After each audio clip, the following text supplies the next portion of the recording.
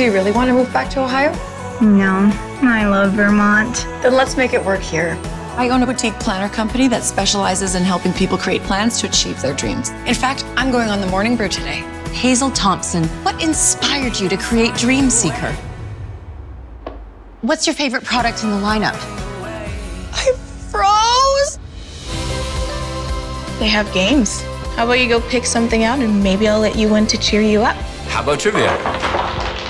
It's not about winning, it's about having fun. You know that's what people who lose like to say to themselves, right? Which denim wash was popularized in the 80s? Ooh, ooh, ooh, acid wash. Margot really wants to give you another shot. I strongly encourage you to do some media training. Isn't that the cute trivia host from last night? He is just so comfortable on camera. I want his secret. Please, just one session. What would I get out of this? I could help you learn your accounting system. That's a lovely idea. Wait a second, Mom, we've already paid this invoice. No, I like to initial my invoices in the corner when I process them. Come on, let's go shopping. I feel like you're not taking this seriously. I'm taking this exactly as seriously as I should. It's supposed to be fun, like a character to get you out of your head. I should be preparing for my interview, not handing out candy to strangers. You're missing something from your to-do list. Take stick out of. New product? Something like a gratitude journal, except for how you made someone smile that day. I came up with a new design, but then the printer screwed up. Want me to help?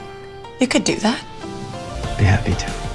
What's going on? Think of it as your last round of practice. Which state's official dessert is the peach pie? I had the best peach pie of my life in Delaware, which happens to be the right answer. I can't believe you got me to co-host trivia with you. You let go. You were yourself in front of others.